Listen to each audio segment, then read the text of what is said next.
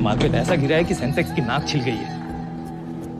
Share बाज़ार share बाज़ार ना होकर जैसे मच्छी बाज़ार बन गया है। सांभो छो तमें पिछले एक साल तक सब लोग खरीद रहे थे, आज पूरी दुनिया अचानक बेच रही है।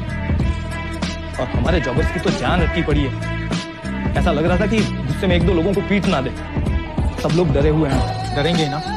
क्यों नहीं डरेंगे? मार्केट 500 पॉइंट से ज़्यादा गिर गई।